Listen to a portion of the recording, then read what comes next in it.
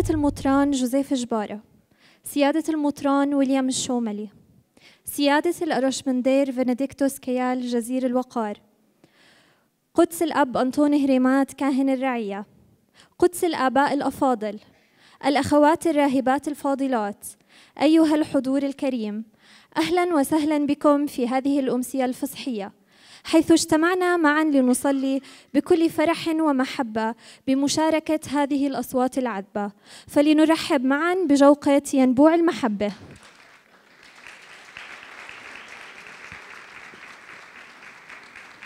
ماذا يعني أن تحب؟ بكل قلبك وكل نفسك وكل ذهنك. أحدثكم عن خبرتي مع يسوع. في سره الفصحي أولا تظنن أن توبتي على الصليب كانت سهما طائشا. كنت لصا. اتخذت من اللصوصية حرفة. فاسطو على البيوت وأسلب الأموال. ولكني سمعت الكثير عن يسوع. وعرفت أنه يعمل لخير الجميع. فشعرت به قريب مني. كنت معجبا به قبل أن نلتقي. وفي أحد الأيام قبضوا علي ورفيقي وحكموا علي بالموت صلبا. وإذ بي على الجلجثة فصلبوني من جهة يمين يسوع. وصراخ الشعب يعلو إن كنت ملك خلص نفسك وانزل عن الصليب. أما أنا فقلت لنفسي أنا المجرم. إن دم يسوع يسيل بقربي أأتركه يذهب سدى ولا أنال الخلاص؟ عندئذ صرخت بزميلي مدافعا عن يسوع. وطلبت منه أن يذكرني في ملكوته لأني في عمق نفسي صرت أعرف أن ليسوع ملكوتا. وعندها سمعته يقول الحق الحق أقول لك ستكون اليوم معي في الفردوس. مات يسوع قبلي وقد جاءوا وطعنوه بالحرب. وأما أنا فكسروا ساقي. يسوع أدخلني السر الفصحي. فغدا الصليب الباب الضيق باب الملكوت. نعم هكذا غدا تعريف الحب والفرح. فالله هو المحبة والعطاء. وهناك أيضا كانت أم يسوع واقفة تتأمل. وتشارك ابنها الألم وهي التي تشاركنا همومنا وآمالنا وبقيت على إيمانها بابنها. وأنت هل لقيت الألم والصلب بعمق قلبها؟ هل آمنت بهذه القيامة والسر الفصحي؟ يسوع ينتظرك بعلاقة المحبة فلا تتردد.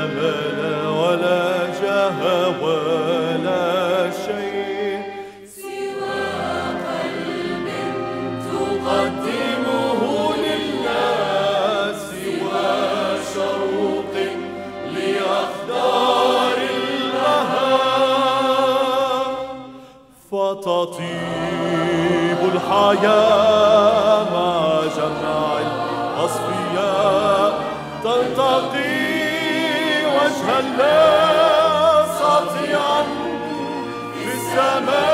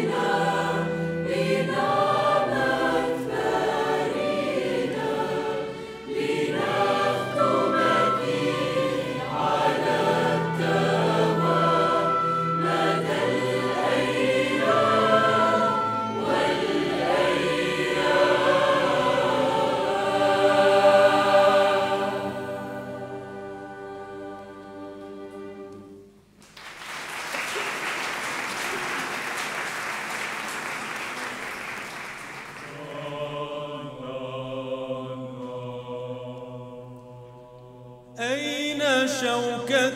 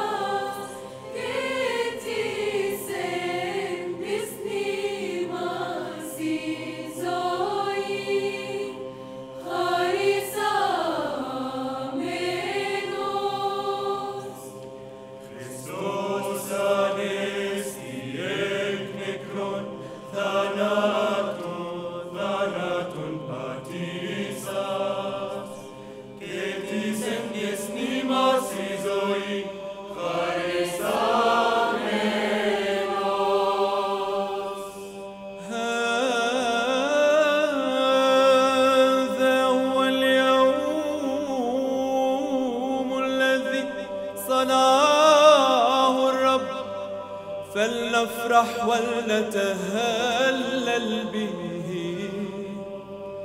مسيح قام من بين الأموات